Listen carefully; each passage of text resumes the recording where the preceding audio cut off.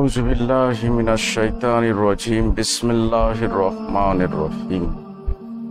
الحمد لله رب العالمين. الصلاة والسلام على سيد الأنبياء المرسلين. حبيب إله العالمين بالقاسم محمد. اللهم صل على محمد وآل محمد. وعلى آله طيبين الطاهرين معصومين ومسلمين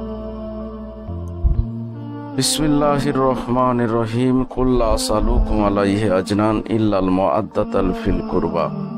পবিত্র কোরআনের সূরা, সূরার 23 নম্বর আয়াত, অর্থাৎ 42 নম্বর সূরার 23 নম্বর আয়াত আপনাদের সামনে পাঠ করার সৌভাগ্য অর্জন করলাম। সবাইকে পবিত্র মহরমের শোক জ্ঞাপন করছি। চ্যানেল সত্যের পথের পক্ষ থেকে ধারাবাহিক আলোচনার আজকে সবাইকে স্বাগত। সর্বপ্রথম জানাই মহান রব্বুল আলমিনের দরবারে লাখো কোটি শুক্রিয়া। এবং তার প্রিয় হাবিব ও তার হাবিবের আহিলে বাইতের প্রতি দরুদ, সালাম মুআদ্দাদ ভালোবাসা। আপনারা জানেন মহরমের আজকে দু তারিখ। এই দু তারিখে ইমাম হুসাইন আলাহিসাল্লাম কারবালায় প্রবেশ করেছিলেন এবং কারবালায় প্রবেশ করার পরে তিনি তার তাঁবুটি ফুরাতের কুলে, যেটা প্রচলিত নাম নাহরে আল কামা সেই নাহরে আল কামার ধারে তিনি যখন তাঁবু গেড়েছিলেন, ইবনে জিয়াদ বলে এক লানতি এজিদ বাহিনীর, এজিদের গভর্নর, কুফার গভর্নর, সে তার সৈন্যবাহিনী পাঠিয়ে ইমাম হুসাইনকে বাই পেশারে ওই ফুরাত কুল বা নাহারে আলকামা থেকে দূরে সরিয়ে অন্য জায়গায় তাবু গাড়তে নির্দেশ দেয় এবং ইমাম হুসাইন আলাহিসাল্লাম সেই বাই পেশারে সেখান থেকে সরে অন্য জায়গায় তাবু করেন এবং ফুরাত কুল থেকে যতটুকু পানি সংগ্রহ করেছিলেন, সেই পানিটুকুই তাদের সম্বল ছিল। সাত তারিখে আপনারা জানেন, পানির সংকট আলাতাস আলাতাস শুরু হয় সেইখান থেকেই বিশ্বের মুসলমান দুপুরে মাতম পালন করে। তো যাই হোক, আমরা প্রারম্ভে ইমাম হুসাইনের আজকের কারবালায় প্রবেশের ঘটনাটি আপনাদের তুলে ধরলাম। আজকে আমাদের বিষয় তৌহিদ, রিসালত, বেলায়েত এবং কারবালা। আপনারা জানেন, কারবালা একটি মুসলিম সমাজের জন্য মানুষকে দুটি ভাগে ভাগ করেছে। মুসলমানদের একটি দিশা কারবালা, মুসলমানদের একটি সবক কারবালা। কারবালা থেকে মুমিনরা শিক্ষা নিয়েছে আর মোনাফেকরা ফেতনা নিয়েছে। আজকে কারবালা আমাদের কি দিতে পেরেছে? বা কারবালায় কেমন কেন ইমাম হুসাইন আলাহিসাল্লাম গিয়েছিলেন? বা আমরা কেন চোদ্দশো বৎসর ধরে এই কারবালার স্মরণকে জীবন্ত করে রেখেছি? এই তিনটে প্রশ্ন আপনাদের সামনে ছুড়ে দিলাম। তার একমাত্র উত্তর হচ্ছে বেলায়েতে আলী। হজরত অর্থাৎ একটু বিস্তারিত যাই যে হজরত মৌলা আলী আলাহিসামকে আল্লাহ রসুল আঠেরোই জিলহজ, অর্থাৎ এই মহরমের আগের মাসে, জিলহজ মাসে আঠেরো তারিখে গাদিরে খুমে বেলায়েত দান করেছিলেন, মাওলাইয়াত দান করেছিলেন। আর এই বেলায়েতকে অস্বীকার করা হয়েছে। বেলায়েতকে স্বীকার করা হয়নি। বেলায়েতকে ত্যাগ করা হয়েছে, পরিত্যাগ করা হয়েছে, পরিত্যাজ্য করা হয়েছে, নেগলেক্ট করা হয়েছে। বেলায়েতকে অস্বীকার করা হয়েছে। আর এই বেলায়েতকে অস্বীকার করার জন্য, বেলায়েতকে স্বীকার না করার জন্য নবীর লাশকে ফেলে রেখে সখী পাহলে যেতে হয়েছে। বেলায়েতকে অস্বীকার করার জন্য প্রিয় নবী সাল্লাহ আলাই সাল্লামকে দাফন কাফনে অংশগ্রহণ করতে পারেনি, শুধুমাত্র বেলায়েতকে অস্বীকার করার জন্য। বেলায়েতকে অস্বীকার করার জন্য ফাতেমা জাহারার ঘরে হামলা করতে হয়েছে। বেলায়েতকে অস্বীকার করার জন্য মদিনাকে লকডাউন করতে হয়েছে। বেলায়েতকে অস্বীকার করার জন্য ফাতেমা জাহারাকে চার ঘন্টায় চার ঘণ্টা তার, তাদের দরবারে দাঁড়াতে হয়েছে। বেলায়েতকে অস্বীকার করার জন্য ফাতেমা জাহারার সম্মানহানি হয়েছে। তার উপরে অত্যাচার জুলুম হয়েছে। বেলায়েতকে অস্বীকার করার জন্য ফাতেমা জাহারাকে মদিনার অলিতে গলিতে বলতে হয়েছে যে, তোমরা তো বেল, গাদিরে খুমে ছিলে তোমরা আলীর হাতে বায়াত করলে না কেন? বেলায়েতকে অস্বীকার করার জন্য জঙ্গে জামাল হয়েছে, সাহাবি হত্যা হয়েছে, বেলায়েতকে অস্বীকার করার জন্য সিপ্পিন যুদ্ধ হয়েছে, আম্মার বিন ইয়াসির শহীদ হয়েছেন। বেলায়েতকে অস্বীকার করার জন্য আবুজার গাফারিকে রাবজা মরুভূমিতে যেতে হয়েছে। বেলায়েতকে অস্বীকার করার জন্য মদিনা উত্তাল হয়েছে, লড়াই ফাসাদ হয়েছে। বেলায়েতকে অস্বীকার করার জন্য ইমাম হুসাইন আলাহিসাল্লামকে কারবালায় যেতে হয়েছে। তার আগে ইমাম হাসান আলাহিসাল্লামকে হত্যা করা হয়েছে। বেলায়েতকে অস্বীকার করার জন্য বহু সাহাবিকে হত্যা হতে হয়েছে। বহু সাহাবিকে মদিনা ত্যাগ করতে হয়েছে। বেলায়েতকে অস্বীকার করার জন্য প্রথম পিরিয়ডে মালিক ইবনে নোয়াইরাকে হত্যা করা হয়েছে।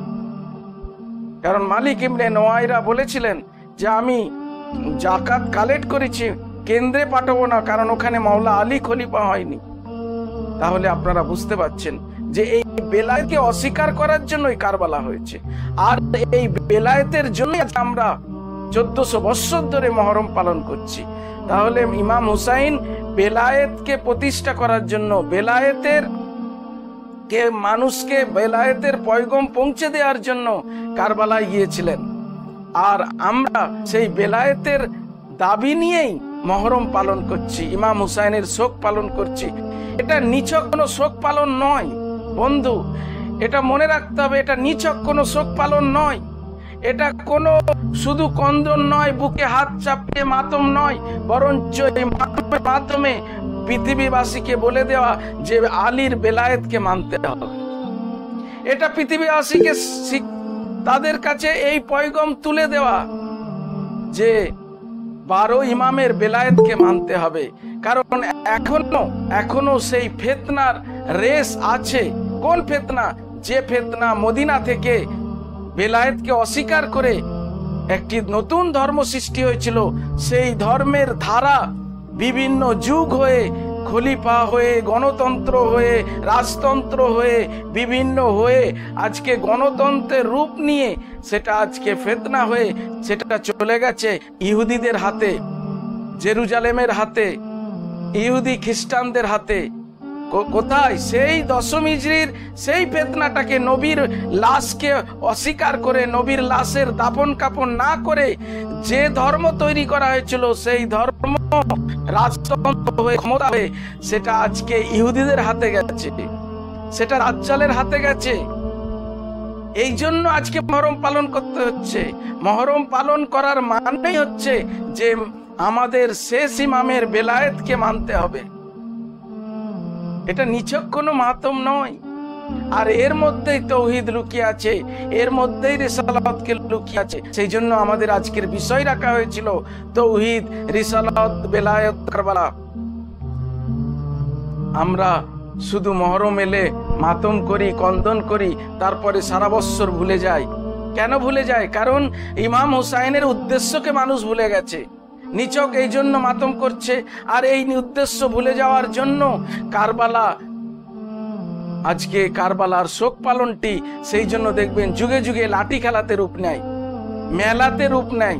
দেখবেন আমাদের এখানে অনেক জায়গায় কারবালা বলে নাম আছে, জায়গার নাম কারবালা, কিন্তু সেখানে আশুরার দিনে মেলা বসে। ওই মাটির হাঁড়ি কুড়ি কিছু ঘোড়া, তারপরে কিছু বাঁশি, বাচ্চারা বেলুন ওড়াচ্ছে, তারপরে কিছু জায়গায় লাঠি খেলছে, ঘুগনি খাচ্ছে, তারপরে পুচকা খাচ্ছে, তারপরে ঘরে চলে আসছে। তাহলে উদ্দেশ্য হারিয়ে গেল। কেন উদ্দেশ্য হারিয়ে গেল? বেলায়েতে আলী ভুলে যাওয়ার জন্য। কারণ ইমাম হুসাইন কারবালায় গিয়েছিলেন বেলায়েতে আলী মানাবার জন্য। অনেকে ভুল করে। এটা খুব সূক্ষ্ম চাল। দেখেন কত সূক্ষ্ম চাল যে অনেকে বলে নবীর দিনকে বাঁচাবার জন্য কারবালায় গিয়েছিলেন ইমাম হুসাইন। এটা সে ভুল বলে না, কিন্তু শত্রুর সূক্ষ্ম চালটাকে বুঝতে পারছে না। এখানে দিন বাঁচাবার জন্য নয়। এখানে আল্লাহর দিন বাঁচাবার জন্য নয়, বরঞ্চ বেলায়েতে আলী বাঁচাবার জন্য। ইমাম হুসাইন কারবালায় গিয়েছিলেন। দিন তো এজিদের কাছেও ছিল। তারা তো নামাজ পড়তো, তারা তো হাজি ছিল, তারা তো কোরআনের হাফেজ ছিল। বুঝতে পারছেন না ব্যাপারটা? তারা কোরআনের হাফেজ ছিল। তারা বলছিল যে, তাড়াতাড়ি হুসাইনকে কতল কর আমাদেরকে আসরের নামাজ পড়তে হবে। তারা এই কথা বলছিল। ঐতিহাসিকরা লিখেছেন। কেন? তাহলে তো দিন ছিল তো। দিনের জন্য নয়, নামাজ বাঁচাবার জন্য নয়। ভুল কথা এটা। মানুষকে ভুল বোঝানো হয়, একটা সূক্ষ্ম চাল। ওই বেলায়েতে আলীকে লুকিয়ে দেওয়ার জন্য এটা একটা সূক্ষ্ম চাল চালে যে ওরে বেলায়েতে আলীকে লুকাতে হবে, সেই জন্য এখানে ওদেরকে শিখিয়ে দে যে বল যে নামাজ বাঁচাবার জন্য গিয়েছিল, রোজা বাঁচাবার জন্য গিয়েছিল। এই জন্য দেখবেন যারা মহরম পালন করে, তাদেরকে ওরাই এসে বলে আচ্ছা তোমরা রোজা রাখো, তোমরা নামাজ পড়ো, এইরকম কেন করছ? বুকে হাত মারছো কেন? নামাজ পড়ো, রোজা রাখো। দেখেন, তারা দিন শেখাতে এসছে। কত সূক্ষ্ম চাল দেখলেন? তারা দিন শেখাতে আসছে আমাদের। যে নামাজ পড়ো রোজা রাখো হ্যাঁ, ভালো ভালো কাজ করো দান খায়রাত করো মাতম কেন করবে? মজলিস কেন করবে? এসব কেন করছ? দেখলেন? তাহলে উদ্দেশ্যটাকে ভুলিয়ে দিল। তাহলে আজ থেকে আমাদের এই উদ্দেশ্যটা শিখতে হবে যে দিন বাঁচাবার জন্য নয়। রসুলের দিনকে বাঁচাবার জন্য গিয়েছিল না ইমাম হুসাইন বরং বেলায়েতে আলী বাঁচাবার জন্য। এখন আপনি অনেক বড় করে প্রশ্ন করবেন যে বেলায়েতে আলী আর রসুল রিসালাত কি আলাদা? আমি তো ওটাই বলতে চাইছি যে আল্লাহর রসুল বললেন, মান কুন্তু মাওলা, আমি যার যার মাওলা, এই আলীও তার তার মাওলা। তার মানে রিসালাতটা আলীর কাছেই তো গেল, তৌহিদ তো আলীর কাছেই গেল। কথা বোঝা যাচ্ছে না? তৌহিদ যেটা এসছিল রসুলুল্লাহর কাছে ওয়াহাদিয়াত অর্থাৎ একত্ববাদ যে রসুলুল্লাহর কাছে এসছিল, এটা কার কাছে দিলেন, অর্পণ করলেন মাওলা আলীর কাছে? তাহলে তারা বুঝে গেল যে খুব সুকৌশলে রসুল রসুল করো, আল্লাহ আল্লাহ করো, আলীকে অস্বীকার করো। দেখলেন কত সুকৌশলে তারা একটা কৌশল আঁটলো যে আলীকে বাদ দাও। খালি আল্লাহ আল্লাহ করো আর মোহাম্মদ করো। মোহাম্মদে পাগল হয়ে যাও। বেলা- বারোই রবিউল এলে বিশাল আয়োজন করো। মানুষ ধোকা খেয়ে যাবে যে কি কি নবীকে না ভালোবাসে? বিশাল আয়োজন করো, নামাজ পড়ো, তারাবি পড়ো, বিভিন্ন একদম এবাদতের বন্যা বনিয়ে দাও। কারণ শুধুমাত্র কেন এগুলো? বেলায়েতে আলীকে অস্বীকার করা। তাহলে আমাদেরকে এই সূক্ষ্ম চাল বুঝতে হবে। এটা শয়তানি সূক্ষ্ম চাল। আমাদেরকে শেখানো হয় যে নানার দিন বাঁচাতে গিয়েছিল। না, নানার দিন বাঁচাতে যায়নি, বরং আব্বার বেলায়েতকে বাঁচাতে গেছিল মৌলা আলীর বেলায়েতকে বাঁচাতে গেছিল ইমাম হুসান আলাইসালাম এই শিক্ষা আজকে এই পয়গম দুনিয়াবাসীকে দিতে হবে। আবার একটা সূক্ষ্ম চাল চালে। কীরকম জানেন? খুব সূক্ষ্ম চাল চালে। যে বলে, যে সবাইকে মেনে নাও, সবাইকে একসঙ্গে মেনে নাও। মেনে নিলেই তো হয়ে যায়। আলীও থাকবে, আর অন্য খলিফারাও থাকবে। আচ্ছা আমি একটা কথা বলি। রসুলুল্লাহ যখন মদিনা এলেন মদিনা এসে, এই রসুল্লাহ যখন তৌহিদের প্রচার করছিলেন, তখন কি বলছিলেন? যে মক্কার মূর্তিরাও থাক, মানুষের তৈরি দিনও থাক, আর আল্লাহর একত্ববাদও থাক। এটা বলছিলেন না কি বলছিলেন? বলছিলেন যে সব বাদ দাও, আল্লাহ শেখাচ্ছেন, লা লা করো, লা ইলাহা ইল্লাল্লাহ মোহাম্মদ রসুল্লাহ অর্থাৎ আগে কেউ নেই, তারপরে আমি। তোমরা যদি সবাইকে একসঙ্গে মেনে নাও, আমি নেই। আল্লাহ বলছে, এটা আল্লাহর কথা যে তোমরা যদি ওই তিনশো ষাটটা মূর্তি, আরও দিন, আরও সব কিছু মেনে এক হয়ে থাকো, আমি ওখানে নেই। আমি কোথায় থাকব, আল্লাহর কথা। আমি কোথায় থাকব? যেখানে তোমার হৃদয়ে আর কেউ নেই। লা করে দাও, কেউ নেই। তারপরে আমি ঢুকবো। আমি সবার সঙ্গে থাকব না। তাহলে তুমি বলছো যে সব খলিফা থাকুক, আলীও থাকুক, এটা তোমার কীরকম কথা? বেলায়েতে আলী যদি মানো, কেউ থাকবে না, শুধু বেলায়েতে আলী থাকবে। কথা বোঝা গেল না? এটাই তো তৌহিদের শিক্ষা। এটাই তো রিসালাতের শিক্ষা। তুমি আমাকে শেখাচ্ছ, সবাইকে মেনে নাও। সবাইকে মেনে নিয়ে সবাই থাক, আলীও থাক।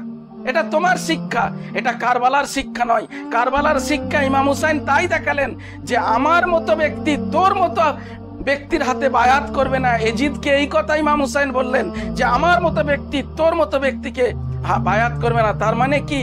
যে সেটাই লা ইলাহা ইল্লাল্লাহ অর্থাৎ শুধু আল্লাহ থাকবে আর অন্য কেউ থাকবে না।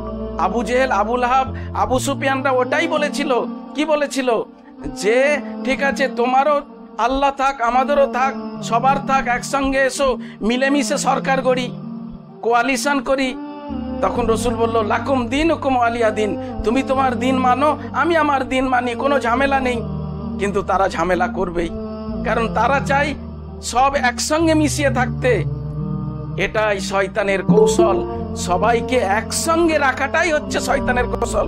শয়তান চায় আল্লাহ থাকুক অন্যরাও থাকুক। এই জন্য বিরাট আলীর সঙ্গে আবার সবার মিশিয়ে দিয়েছে যে সবাই বুঝতে হবে এটা। তো যাই হোক আমাদের সঙ্গে মুনির ভাই এসে গেছেন আমি দেখতে পাচ্ছি। মুনির ভাই আসসালামু আলাইকুম। ওয়ালাইকুম আসসালাম রহমতুল্লাহ। জি জানাবা আপনার কাছে সরাসরি চলে যাই। আজকের বিষয়ের আলোকপাত করার জন্য ধন্যবাদ বলেন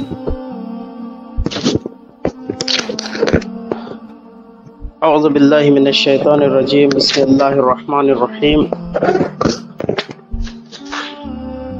الحمد لله الذي هدانا لهذا وما كنا لنهتدي لولا أن هدانا الله لقد جاءت رسل ربنا بالحق والصلاة والسلام على أشرف الأنبياء والمرسلين وخاتم النبيين سيدنا ومولانا جد الحسن والحسين المكي المدني الحاشمي القرشي الأبتهي أبي القاسم محمد. اللهم صل على محمد وآل محمد. وعلى أهل بيته الطيبين الطاهرين المعصومين المظلومين ولعنة الله على أعدائهم أجمعين. أما بعد فقد قال رسول الله صلى الله عليه وآله وسلم হুসাইন ও মিন্নি ওয়া আনা মিনাল হুসাইন।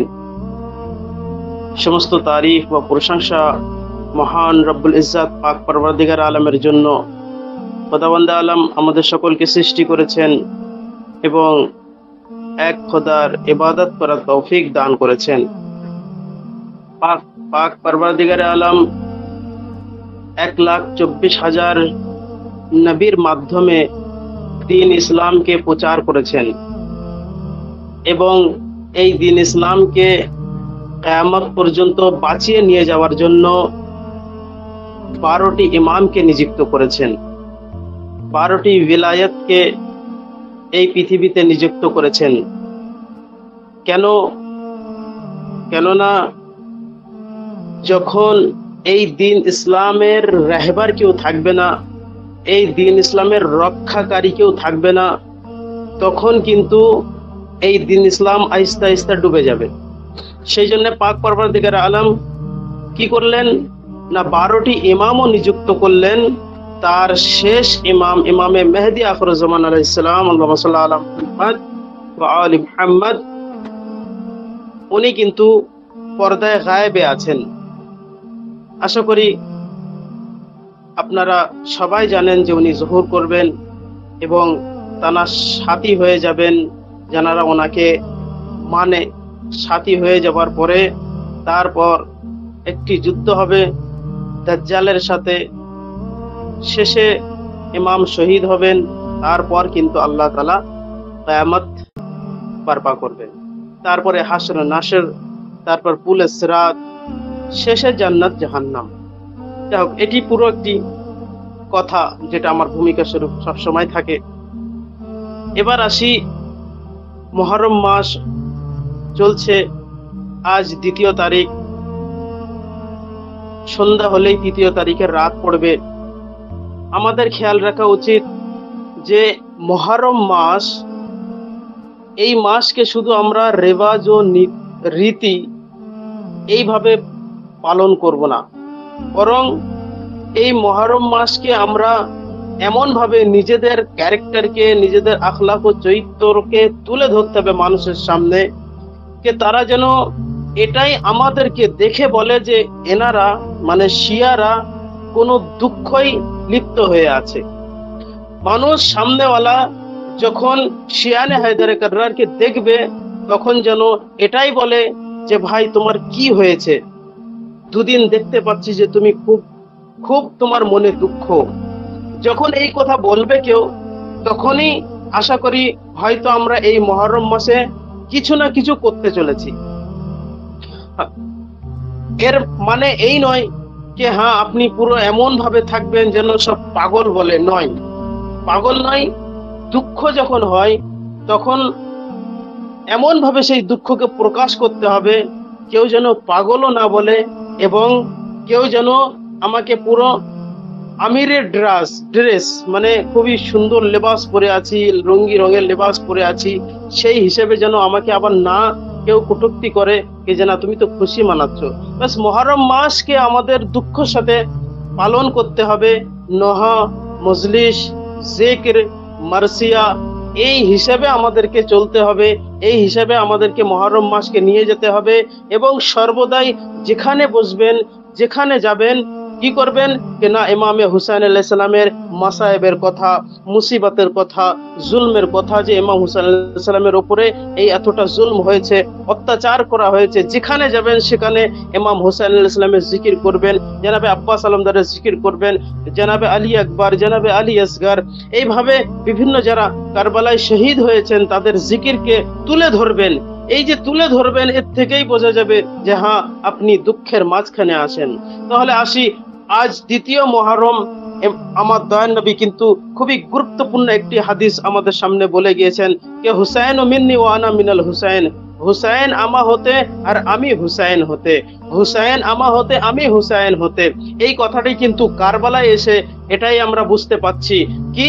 না, কারবালায় যখন ইমাম হুসাইন আলাইহিস সালাম দাঁড়িয়েছিলেন এজিদের সামনে, তখন একদিকে ছিল তৌহিদ আরেক দিকে ছিল নবুবত আরেক দিকে ছিল ভিলায়াত আর একদিকে ছিল ইয়াজিদিয়াত। এইভাবে দেখেন ইমামে হুসাইন আলাইহিস সালামের জন্য এই হাদিসটি কত গুরুত্বপূর্ণ। কি কে হুসাইন ও মিন্নি ওয়ানা মিনাল হুসাইন? মানে আমার দয়ান নবী এটা বলতে চাচ্ছেন যে আমি হুসাইন থেকে হুসাইন আমার থেকে, তার মানে এই কি ইমামে হুসাইন আলাইহিস সালাম যখন কারবালার ময়দানে এমন ভাবে দাঁড়িয়ে থাকবেন, দেখবেন তার বিপক্ষে একমাত্র ইয়েজিদিয়াত আছে যারা সমস্ত জিনিসকে অস্বীকার করছে। তারা ওয়াহাদানিয়াতকে অস্বীকার করছে, তারা রেসালাতকেও অস্বীকার করছে, তারা ভেলায়াতকেও অস্বীকার করছে। ভেলায়াতকে অস্বীকার করছে, সেই জন্য তারা ইমামে হুসাইন আলাইহিস সালামের বিপক্ষে এসে দাঁড়িয়েছে। তারা সর্বপ্রথম তৌহিদকে, তৌহিদ যেটা হলো লা ইলাহা ইল্লাল্লাহ, কেন কেন আমি এই কথা তুলে ধরছি? এই জন্য যে ইমামে হুসাইন আলাইহিস সালাম সেই কারবালার ময়দানে কি করতে গিয়েছিলেন? কেনা দিন ইসলামকে বাঁচাতে? দিন ইসলাম আল্লাহ তালা এক লাখ চব্বিশ হাজার নবীদেরকে দিয়েই দিন ইসলামকে প্রচার করেছেন। তার মানে এই কে ইমামে হুসাইন আলাইসালাম রেসালাতকেও বাঁচাতে গিয়েছেন? আর এক লাখ চব্বিশ হাজার নবীদের মাধ্যমে আল্লাহ তালা এই দিন ইসলামকে প্রচার করতে বলেছেন। তার মানে তৌহিদ বলেছেন, রেসালাতকে রেসালাত প্রচার করেছেন। আর সেই দিন ইসলামকে ইমামে হুসাইন আলাইসালাম কারবালার ময়দানে এটাই বলতে চাচ্ছেন, এটাই আমাদেরকে বোঝাচ্ছেন কি দেখো, আমি তৌহিদকে বাঁচাতে এসেছি, রেসালাতকে বাঁচাতে এসেছি এবং তারপরে ভেলায়াতকে বাঁচাতে এসেছি। কেন? কেননা যখন তৌহিদ ছিল, তার বিপক্ষে ছিল কাফির। সেই কাফিরদের সামনে আমার নানা মানে ইমাম হুসাইন আলাইহিস সালাম বলছেন, আমার নানা সেই কাফিরদের সাথে যুদ্ধ করেছেন। কত যুদ্ধ হয়েছে, আবু সুফিয়ান যুদ্ধ করেছে, মাবিয়া যুদ্ধ করেছে এবং বিভিন্ন যারা কাফির ছিল তাদের সাথে যুদ্ধ করেছেন। সেটা হলো তৌহিদের সাথে কাফিরদের সাথে লড়াই ছিল। যখন রেসালাত আসলো, রেসালাত আসার পরে নবুবত আসার পরে দিন ইসলামকে প্রচার করে দিলেন। দিন ইসলামকে প্রচার করে দেওয়ার পরে, তারপরে দেখেন যখন আল্লাহ তালাকে ওয়াহাদানিয়তকে রক্ষা করতে দয়ার নবী কি করলেন? না যুদ্ধ করলেন? আর এই দিন ইসলামকে প্রচার করে দিয়েছেন নবুবাতের দ্বারা, রেসালাতের দ্বারা। যখন দিন ইসলামকে প্রচার করে দিয়েছেন, করে দেওয়ার পরে যখন দয়ার নবী গাদির খুমের ময়দানে এই ভিলায়াতকে এলান করলেন, কি ফমান কুন্ত মাওলা হো ফাহাদ আলিয়ুল মাওলা, আমি যার যার মাওলা, এই আলী তার তার মাওলা। এবার দেখেন, যখন তহিদের সাথে কাফির ছিল, তখন দয়ান নবী যুদ্ধ করেছিলেন। সেই কাফিরদের সাথে। কেননা ওয়াহদানিয়তের উপরে তারা আঙুল তুলেছিল। ওয়াহদানিয়তের উপরে মানে লা ইলাহা ইল্লাল্লাহ, লা ইলাহা ইল্লাল্লাহর উপরে যেটা আঙুল তুলেছিল সে হলো কাফিরে। সেই কাফিরের সাথে আমার দয়ান নবী যুদ্ধ করেছিলেন। তারপরে আসেন ওখান থেকে, যখন রেসালাতের দ্বারা এই দিন ইসলামকে প্রচার করে দিলেন, যখন দিন সম্পূর্ণ হলো, আল্লাহ তাআলা এই দিন ইসলাম থেকে রাজি হয়ে গেলেন। তাহলে রাজি যখন হলেন, তখন আমার দয়ান নবী দিয়ে গেলেন কি? ভিলায়াত এবার দেখেন বেলায়াতকে এবার লক্ষ্য করে সেই কাফির কিন্তু আর লড়ছে না। কেননা বেলায়াতকে লক্ষ্য করে এবার আসছে মুনাফিক। এবার মুনাফিক সে কাফিরদের ভেতরে হতে পারে, মুনাফিক সে মুসলমানের ভেতরে হতে পারে। যারা দুমুখ, যারা এদিকে কথা বলে আরেক, ওদিকে আরেক কথা বলে, তারাই হলো মুনাফিক। আর এই মুনাফিকের কোনো ইমান নেই, তারা কাফিরও হতে পারে, তারা যে কোনো তাদের মানে ধর্ম হতে পারে। যেটাকে বল যেটা আমি বলতে চাচ্ছি যে কোনো ধর্ম হতে পারে মানে কি তারা ওয়াহাদানিয়াত কেও অস্বীকার করবে রেসালাত কেও অস্বীকার করবে বেলায়াত কেও অস্বীকার করবে। এই জিনিসগুলো ছেড়ে দিয়ে তার কাছে যদি অন্য কোনো দিন থেকে থাকে সে সেই দিনের ওপরে চলবে। তাহলে যেটা আমি বলতে চাচ্ছি যে ইমামে হুসাইন আলাইহিস সালাম আজ কারবালায় এলেন। কেন? কেননা দয়ার নবী কি করেছিলেন? তৌহিদকে বাঁচাতে যুদ্ধ করেছিলেন। এবার আসি ইমামে হুসাইন আলাইহিস সালাম কারবালা এলেন। এই জন্য কেননা রেসালাতের উপরে আর কিছু নেই। তৌহিদের উপরে আর কিছু নেই, মাত্র বেলায়াতের উপরে কিছু এসছে। বেলায়াতের উপরে এবার আঙুল এসছে। বেলায়াতের উপরে এবার আঙুল তুলছে সবাই। যে বেলায়াতকে এরা অস্বীকার করছে, সেই বেলায়াতকে বাঁচাতে আজ ইমামে হুসাইন আলাইহিস সালাম কারবালায় চলে এলেন। আর এই কারবালায় এমন ভাবে এলেন যে নিজের পরিবার সহ নিয়ে এলেন, বাহাত্তর জনকে নিয়ে এলেন। নিয়ে ওখানে এসে বলছেন কি, দেখো, আমি এই বেলায়েতের সাথে তহিদকেও বাঁচাতে চাচ্ছি এবং রেসালাতকেও বাঁচাতে চাচ্ছি এবং বেলায়েতকে বাঁচাতে চাচ্ছি কেননা একই সাথে যে আমার মোকাবেলায় আছে আমার বিরুদ্ধে আছে সে এই দিন ইসলামকে ডুবাতে চাচ্ছে দিন ইসলাম মানে আল্লাহর দিন আর আল্লাহ এই দিনকে প্রচার করতে এক লাখ চব্বিশ হাজার নবীদেরকে পাঠিয়েছিলেন যার জন্য তৌহিদকে বাঁচাতে হচ্ছে, তারপরে রেসালাতকে বাঁচাতে হচ্ছে, আর এই দিন ইসলামকে কেয়ামত পর্যন্ত বাকি রাখার জন্য আল্লাহ তালা বেলায়েতকে পাঠিয়েছেন, সেই বেলায়েতকে অস্বীকার করছে, সেই বেলায়েতকে বাঁচাতে আজ আমি কারবালায় চলে এসেছি। এটা হলো ইমাম হুসাইন আলাইহিস সালামের আসল হাদাব। ইমাম হুসাইন আলাইহিস সালামের আসল হাদাব আসল মকসাদ, আসল উদ্দেশ্য এটাই যে বেলায়েতকে অস্বীকার করছে। এবার আমি বলি আপনাদেরকে যে বেলায়েতকে কীভাবে ইমাম হুসাইন আলাইহিস সালাম কারবালায় বাঁচাচ্ছে দেখেন, মদিনায় যখন আমার দয়ান নবী শ- শহীদ হলেন, কেননা অনেকের মাঝখানে তানারা বলছেন, না, পর্দা নিয়েছেন। কিন্তু যেটা ইতিহাস তারিখের ভেতরে পাওয়া যায় যে শেষে আমার দয়ান নবীকেও বিষ দেওয়া হয়েছিল, জাহের পান করানো হয়েছিল। তাহলে এই যে জাহের পান করানো হয়েছিল, কে করেছিল? আজ পর্যন্ত তানার মুখোশ, সেই তাদের মুখোশ বাইরে আসছে না। মানুষের সামনে নেই, মানুষের সম্মুখে নেই, কথায় কথায় নেই, আলোচনায় নেই, কিছুই নেই। ইমামে হুসেন সালাম তারপরে দেখেন কারবালায় কেন এসছেন? কেননা দয়ার নবী ওনার নানাকে শহীদ করা হয়েছে। কেউ বলার নেই, সেই দুশ্মন কে ছিল, আয়া কাফির ছিল, আয়া মুসলমান ছিল, আয়া মুনাফিক ছিল, কে কিছুই বুঝতে পারছি না। কেননা তার পিছনে কার হাত আছে, সেটাও কারোর জানা নেই। তারপরে দেখেন মৌলা আলী আলাইহিস সালামকে কোথায়? না মসজিদের ভেতরে তানাকে শহীদ করা হয়েছে? মসজিদের ভেতরে শহীদ করা হয়েছে, কে করেছে? সেটা আমরা তো জানি আব্দুর রহমান ইবনে মুনজিম। কিন্তু এর পেছনে কার হাত আছে, সেটা অবশ্যই আমাদেরকে জানা উচিত। যে আসল মকসদ, আসল উদ্দেশ্য কোথায়? কোথা থেকে এটা চলল? দয়ার নবীকে বিষ পান করানোর আসল কে আছে তার পেছনে? সেগুলো আমাদেরকে বার করতে হবে। তারপরে আসি মা ফতেমত জাহরা সালামুল্লাহ আলাইহাকে আঠারো বছরের বয়সে তারাকে শহীদ করা হয়েছে। কেন? কিসের জন্য তাকে শহীদ করা হয়েছে? আজ পর্যন্ত কাতিলের নাম কেউ নিতে পারছে না। কেন নিতে পারছে না? কেন এটা আলোচনায় নেই, এটা সবার সামনে নেই, সবাই বলতে পারে না। তাহলে মা ফতমত জাহরা সালামুল্লাহ আলাইহাকে মদিনায়, এটা হলো মদিনায়। মদিনায় শহীদ করা হয়েছে। মা ফতমত জাহরা সালামুল্লাহ আলাইহের উপরে জুলম অত্যাচার করা হয়েছে, কিন্তু কেউ বলার নেই। কারোর ক্ষমতা নেই যে তার নাম বলে দেবে যে হ্যাঁ অমুক ব্যক্তি জুলম করেছিল, অমুক ব্যক্তির রায় ছিল। যে ব্যক্তি সামনে এসেছিল, তার পেছনে কে ছিল? এগুলো আমাদেরকে লক্ষ্য করতে হবে। হ্যাঁ তারপরে কে আছে? ইমামে হাসান আল্লাহ সাল্লাম আছেন।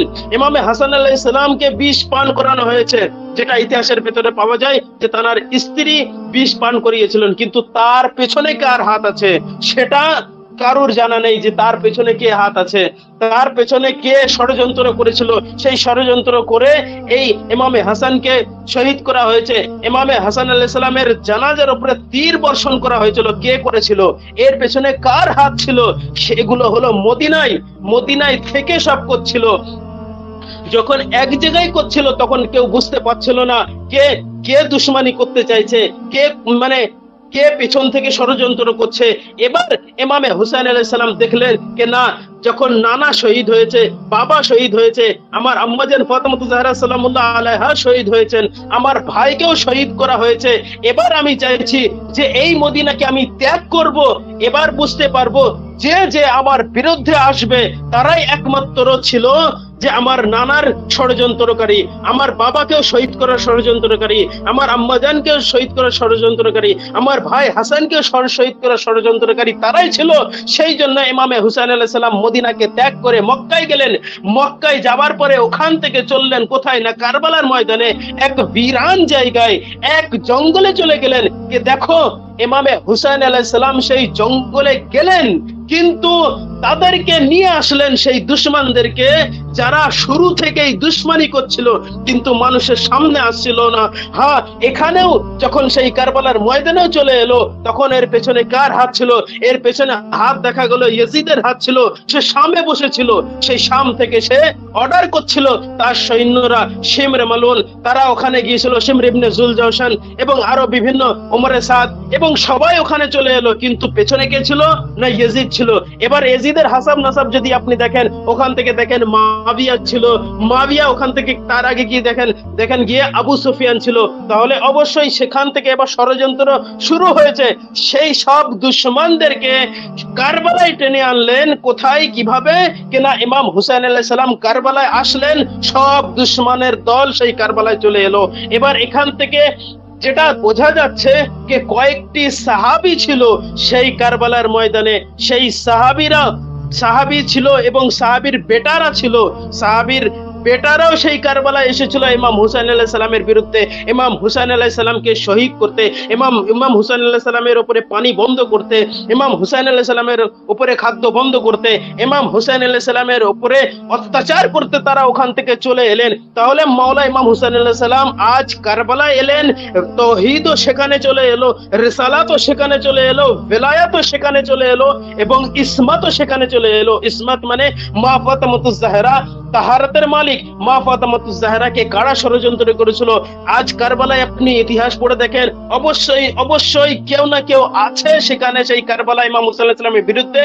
তার যদি হাসাব ও নাসাব জানা যায়, তার যদি বংশ পরিচয় করা যায়, তো সেখান থেকে চলে যাবে সেই আমার দয়ার নবীর জামানায়, সেই মা ফাতেমাতুজ জাহরার জামানায়, মাওলা আলী আলাইহিস সালামের জামানায়, ইমামে হাসান আলাইহিস সালামের জানা জামানায়, তো সেখান থেকে যখন চলে যাবেন, তখন অবশ্যই বেরিয়ে আসবে যে রসুলের খোদাকে কে বিষ পান করিয়েছিল, রসুলের খোদার পেছনে কে ছিল। যখন দেখব যে কারবালায় কে আছে, তার হাসাব নাসাব, তার সাজেরা, তার বংশ যদি আমরা একবার দেখি, তাহলে বুঝতে পারব যে মৌলা আলী আলি সালামের যে বিষ প্রয়োগ করা হয়েছিল, সেই তার পেছনে ষড়যন্ত্র কে ছিল, সে অবশ্যই তার মুখে চলে আসবে।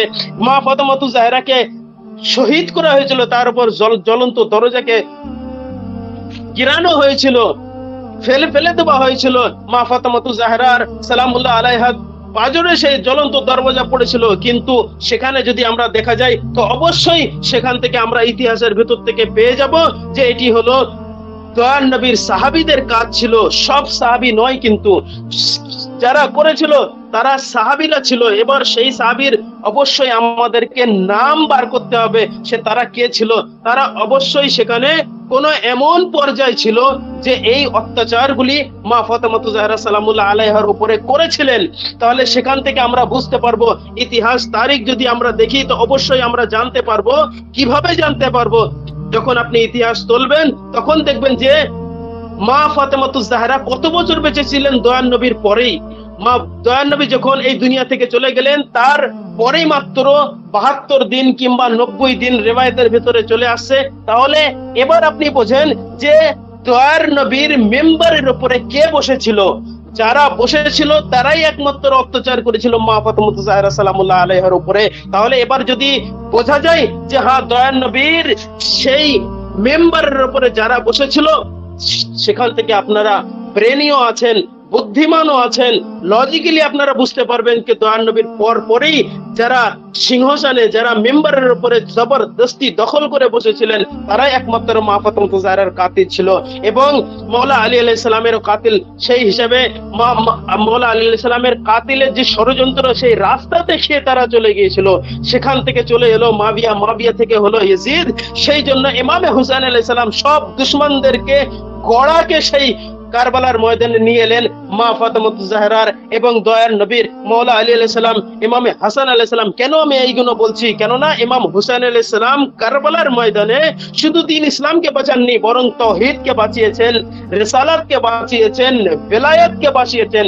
কেননা এই বেলায়েত হলো আসল কারণ ইমামে হুসেন আলাইহিস সালাম কারবালায় এসেছিলেন। কেননা দেখেন, যখন দিন ইসলাম সম্পূর্ণ হলো, মাওলা আলী সালামকে বেলায়েতের অধিকারী দিলেন দয়ার নবী। দিয়ে তারপরে চলে গেলেন। তারপরে সাথে সাথে মৌলা আলীকে পিছিয়ে দিয়ে এবার সব আস্তে আস্তে আস্তে আস্তে মেম্বারে বসা শুরু হলো। প্রথম চলে এলো, দ্বিতীয় চলে এলো, তৃতীয় চলে এলো। সেখান থেকে এবার কি হলো? না, সেখান থেকে তারপরে এমন সেই তৃতীয়র পরে এমন ভাবে সেই জনগণ মাওলা আলীর কাছে চলে এলেন। মাওলা আলী আলী ইসলাম জাহিরি খেলাফত হিসেবে মেম্বারে রসুলের উপরে আসলেন। আসার পরে কি করলেন? সর্বপ্রথম নামাজ পড়ালেন, খুতবা দিলেন, সমস্ত একাম ও মশলা বললেন, সমস্ত জিনিসকে দিয়ে শেষে নামাজ পড়িলেন। পেছন থেকে আওয়াজ আসলো, হে আলী, আজ যেন আমরা রসুলে খোদার নামাজের মতন নামাজ পড়লাম। তাহলে এটা কোথায়? দিন ইসলাম কোথায় চলে গেল? তারা পেছন থেকে বলছে যে আজ রসুলে খোদার মতন নামাজ পড়লাম। তার মানে কি? তার মানে যে প্রথম ছিল, দ্বিতীয় ছিল, তৃতীয় ছিল, অবশ্যই তারা নামাজের ভিতরে গন্ডগোল করে দিয়েছে। সেই জন্য আজ আপনারা দেখতে পাবেন বিভিন্ন জায়গায় কেউ এই বুকে হাত বাঁধছে, কেউ নাবিতে হাত বাঁধছে, কেউ নাবির নিচে হাত বাঁধছে, কেউ আবার হাত খুলে দিচ্ছে। সেই সেখান থেকে এই নামাজের তরিকাগুলো সব পাল্টে গিয়েছে। না হলে মৌলা আলী সালামের জামানায় এসে, মৌলা আলী সালামের খেলাফতের যুগে এসে কেন সাহাবিরা পেছন থেকে বলবেন যে, হে আলী, আজ আমরা রসুল খোদার মতন নামাজ পড়লাম। তাহলে মৌলা আলী সালামের নামাজ দয়ান নবীর নামাজের মতো ছিল। তাহলে অবশ্যই কেউ যদি নামাজকে ফলো করে তাহলে অবশ্যই মৌলা আলী আলী সালামের নামাজকে ফলো করতে হবে। নামাজকে ফলো করবেন, দয়ান নবীর নামাজের কথা মনে পড়বেন। এবার আসি, এখান থেকে সোজা কারবালায় চলে আসি। কারবালায় ইমামে হুসাইন আলাইহিস সালাম নামাজ পড়ছেন। কারবালায় ইমাম হুসাইন আলাইহিস সালাম আমল করছেন। কারবালায় ইমাম হুসাইন আলাইহিস সালাম ইবাদত করছেন এবং যারা সম্মুখে ও সাইডে ছিল, বিরুদ্ধে ছিল, তারাও নামাজ পড়েছে। তারাও সেই কারবালায় নামাজ পড়েছেন। কি? না এমনও কথা চলে এসছে কি কি আসরের নামাজের সময় হয়ে গেছে, হুসাইনকে শহীদ করে দাও। কেননা হুসাইন আসরের নামাজ পড়বে এবং আমরা নামাজ পড়ার পরেও এটা করব। কেন বাবা এগুলো? সেখানেও নামাজ, এখানেও নামাজ। তাহলে আলীর বেটাকে কেননা মৌলা আলী সালামের যে নামাজ ছিল সেটা হলো দয়ার নবীর নামাজ ছিল। সেই দয়ার নবী, দয়ার নবীর নামাজকে স্মরণ করে দিয়েছে মৌলা আলী সালামের নামাজ। এবং মৌলা আলী সালামের নামাজকে স্মরণ করিয়েছে কারবালার ময়দানে ইমামে হুসাইন আলাইহিস সালাম। ইমাম হুসাইন সালামের যে নামাজ ছিল, সে প্রকৃত দয়ার নবীজির নামাজ ছিল। এর পরে কেউ যদি নামাজ যদি আলাদা ভাবে পড়তে চায়, তাহলে সে ওইরূপ ভাবে যেমন হট্টগট্ট গন্ডগোল যে এক, দুই, তিন যেভাবে হোক নামাজ পড়েছেন, কেউ বুকে হাত, কেউ নাবিতে হাত, কেউ নাবির নিচে হাত, কেউ যেমন ভাবে হাত, বিভিন্ন তরিকা হিসেবে সেই হিসেবে নামাজ এখন চলে এসছে। সেই জন্যে প্রকৃত যদি নামাজ আমরা অর্জন করি তাহলে ইমাম হুসেন আল্লাহ সাল্লামকে কারবালায় ফলো করতে হবে। কারবালায় যদি আমরা ফলো করি, তো অবশ্যই আমরা কারবালার নামাজ, কেননা মাওলা ইমাম হুসেন আল্লাহ সাল্লামকে সেজদার হালাতে শহীদ করা হয়েছে। সেজদাই মাওলা ইমাম হুসেন আল্লাহ সাল্লাম সেজদা করছিলেন, সেই সময় তলোয়ারের আঘাত করেছিল শেমরে মালন কেন? কেননা মাওলা ইমাম হুসেন আল্লাহ সাল্লাম নামাজ পড়ছিলেন, আর ওদিকে তারাও নামাজ পড়ছিল। তাহলে দুটি নামাজ আপনারা দেখে নেন। একটা হলো ইমাম হুসাইন আলাইহিস সালামের নামাজ আজও পর্যন্ত যারা হুসাইনি আছে, তারা হুসাইনি নামাজ পড়ছে। আর আজও এজিদি বংশ বাকি আছে, সেই জন্য তারা এজিদিও নামাজ পড়ছে। ব্যাস, আমি শেষ কথা বলে আমি আমার ক্ষুদ্র বক্তব্য আমি শেষ করতে চাই। ইমামে জামানা আলাইহিসসালাম ইমাম হুসাইন আলাইহিস সালামের ইন্তেকাম নেবেন খুনেন।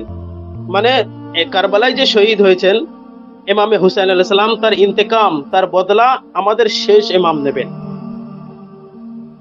অবশ্যই আমাদের শেষ এমামই নেবেন। একটা প্রশ্ন এটাই যে মৌলা সাজ্জাদ এমামে জানুল আবেদিন সালাম, আমাদের চতুর্থ এমাম উনি তো কারবালায় ছিলেন। ওনার নজরের সামনে সমস্ত ঘটনাগুলি বলা হয়েছে। সমস্ত ঘটনাগুলি বলা হয়েছে না, সমস্ত ঘটনাগুলি ঘটেছে। মাওলা ইমাম জাইনুল আবেদিন সালাম নিজে চোখে দেখেছেন। তখন যখন মাওলা ইমাম সজ্জাদ আলাই সালাম রেহাই পেলেন তারপরে মৌলা ইমাম সজ্জাদ আলাই সালাম ইন্তেকাম নেননি কেন? তারপরে ইমাম মোহাম্মদ বাকির আলাই সালাম আছেন, তিনি ইন্তেকাম নেননি কেন? এগুলো, এটা প্রশ্ন কেন নেননি? অবশ্যই একটু চিন্তার কারণ আছে। কেননা, ছোট্ট করে আমি হালকা করে বলে দিই, এর জবাব, কে ইমাম সাজ্জাদ আলাই সালাম যদি সেই সময় ইন্তেকাম লেতেন, তাহলে ওই সময়ের ইয়েজিদদেরকে ধরতেন এবং ওই সময় যারা ইয়েজিদি ছিল, তাদেরকেই একমাত্র কতল করা হতো, তাদেরই, তাদের থেকেই বদলা নেওয়া হতো। তাহলে এটা ওই জামানায় হয়ে যেত। শেষ ইমামের কাছে ইন্তেকাম কেন চলে এসছে? কেননা ইমামগণ জানেন কিংবা আল্লাহ জানেন, দয়ার নবী জানেন কে? এটি ইন্তেকাম আমাদের শেষ ইমামের কাছে এই জন্য যাচ্ছে, কেননা কারবালায় ইয়েজিদি হয়েছে, সেখান থেকে ইয়েজিদি বংশ চলে আসবে এবং শেষ জামানা পর্যন্ত চলে আসবে। যারা আজাদের বিরোধিতা করছে, যারা মাতমের বিরোধিতা করছে, যারা মুসলিসের বিরোধিতা করছে, যারা জুলুসের বিরোধিতা করছে, তারাই এজিদের বংশ, সেই জন্য যদি এজিদের বংশ না হয়, তাহলে তারা আজ আজাদারির এবং মাতম এবং মজলিসের বিরোধিতা করবে না। সেই জন্য আমাদের শেষ ইমামের কাছে ইন্তেকাম করে, ইন্তেকাম এই জন্য চলে এসছে যে সেখানে ইমাম হুসেন আল ইসলামের সামনে যারা এজিদি ছিল, সেই বংশরা বাকি আসছে, বাকি হতে হতে হতে হতে শেষ জামানাও চলে আসবে। তাহলে একসাথে সব ইয়েজিদদের কাছে আমাদের শেষ ইমাম কিন্তু বদলা নেবে। এটাই তার আসল রহস্য। কেননা আমাদের শেষ এমামের কাছে ইন্তেকাম নেবেন, সেই সময় যদি মাওলা জাইনুল আবেদিন সালাম ইন্তেকাম নিতেন, কেননা তিনিও ইমাম ছিলেন, পঞ্চম ইমাম ইমাম ছিলেন, ষষ্ঠম ইমাম ইমাম ছিলেন, সপ্তম ইমাম ছিলেন, সব ইমাম ছিলেন, কেননা ইমামের কাছে ক্ষমতা ছিল না, ছিল, তারা ইন্তেকাম নিতে পারতেন, কিন্তু এটা শেষ ইমামের কাছে কেন দিলেন? কেননা আল্লাহ তাআলা জানেন যে এজিদি বংশ শেষ পর্যন্ত বাকি থাকবে। সেখান থেকে সেই জন্য বলা হয়েছে, আমাদের শেষ ইমামের কাছে ইন্তেকাম হবে। আমরা এটাই দোয়া করি যে, মাওলা, আমাদের যখন, মাওলা যখন জহুর হবে, তখন আমাদের, আমরা যেন সকলেই, মাওলা, শেষ ইমামের যেন সঙ্গী হয়ে থাকতে পারি।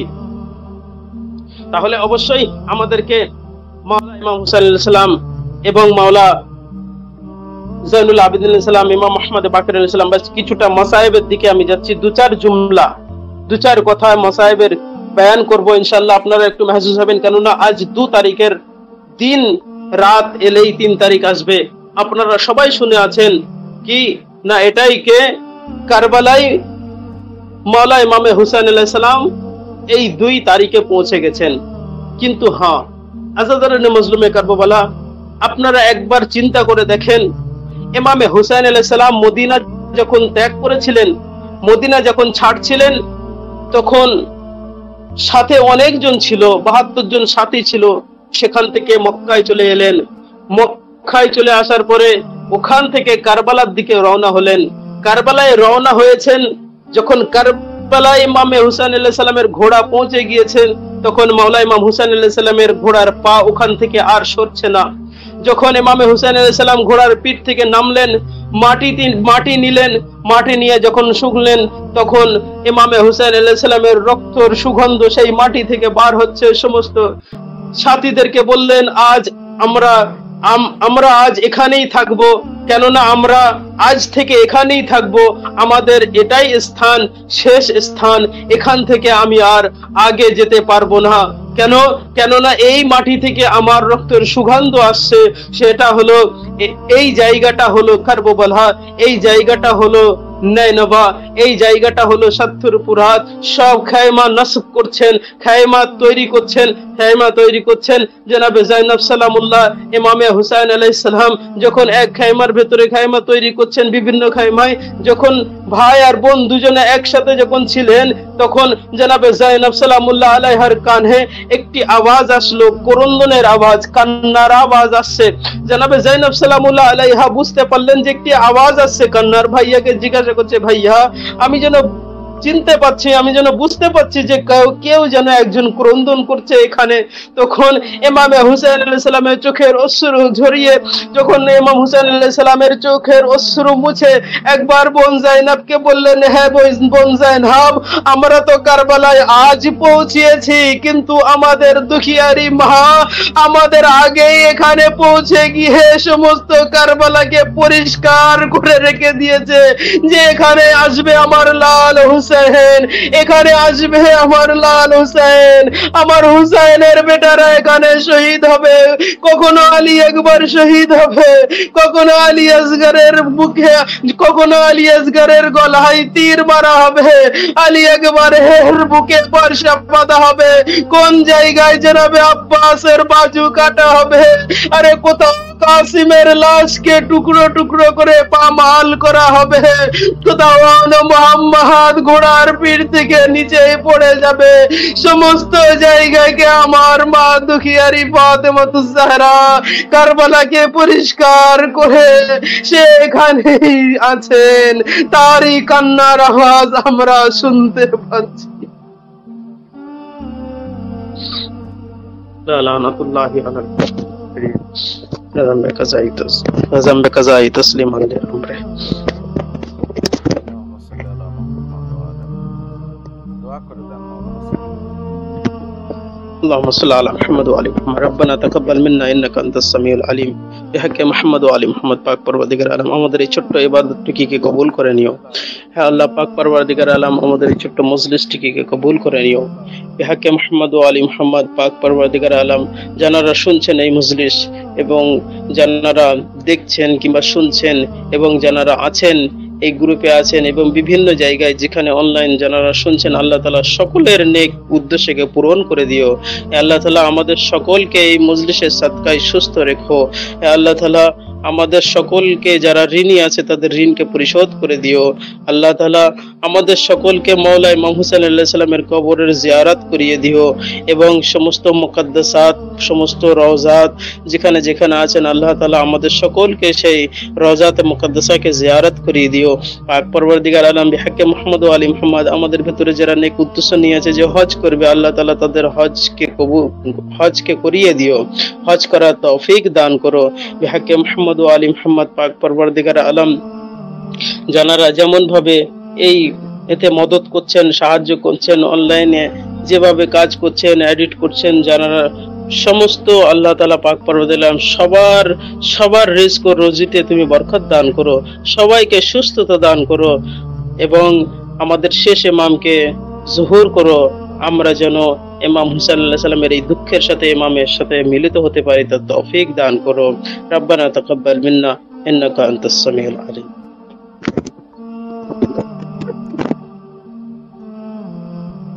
চ্যানেল সত্যের পথের পক্ষ থেকে যে ছোট্ট আয়োজন শেষ হলো, আগামীকাল আবার এরকমই কোনো বিষয় নিয়ে আমরা উপস্থিত হব।